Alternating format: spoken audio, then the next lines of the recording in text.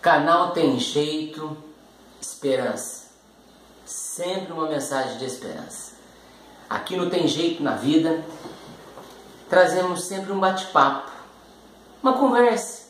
Eu quero conversar com você sobre coisas do dia a dia, coisas que eu vivo, minha família vive, você vive. Ansiedade. Hora ou outra, a ansiedade chega olhar para o futuro, fazer planos, metas, é legal.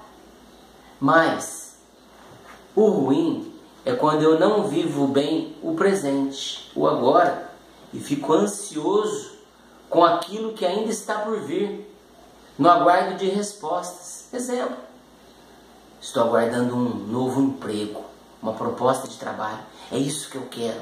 Hoje eu não estou feliz onde, onde estou e quero isso. Tá, tá para frente, futuro. Pode ser que saia. É legal, mas vive bem o agora. Porque a gente é assim, no nosso coração rola insatisfação. Sempre estamos insatisfeitos, sempre queremos, né, melhorar, sempre queremos partir para o novo. É o novo, é o novo. E a hora que chega no novo, Parece que o novo já ficou velho também, rapidinho. Aí já quer outra coisa. O importante é saber viver bem o momento agora, o hoje. Tá difícil.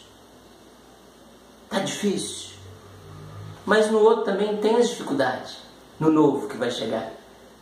O interessante é trabalhar, cuidar dessa ansiedade. Porque o futuro ainda não chegou. Tem que viver o agora. E eu tenho feito isso. Isso é bom. Dividir o dia em etapas: parte da manhã, parte da tarde, parte da noite e a madrugada. O dia fica mais leve, porque o dia é grande. O dia é grande. Tem gente que quer que aumente a quantidade de horas. Ah, o dia podia ter 30 horas. Não, o dia já é grande com 24 horas. Nós precisamos viver bem essas partes do dia. Parte da manhã, parte da tarde, parte da noite e a madrugada. Viver o agora da parte da manhã, o agora da parte da tarde, o agora da parte da noite e para dormir bem, passar na, a madrugada bem, dormir bem, se refazer para começar o outro dia. E não deixar a ansiedade tomar conta e sufocar, porque ainda não chegou.